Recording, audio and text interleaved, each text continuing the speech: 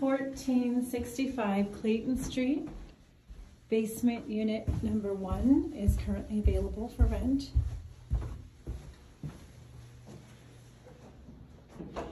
Brand new carpet, touch up paint throughout. This is a very spacious basement unit with lots of light.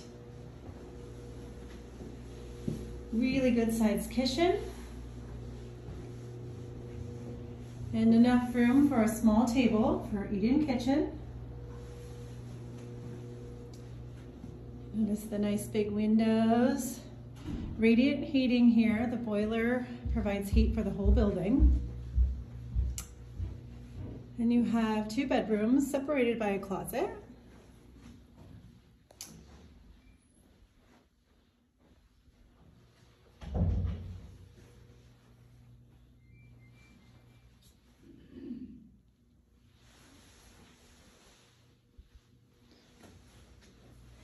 A cute little vintage bathroom, just got some new flooring and baseboards. It's lovely.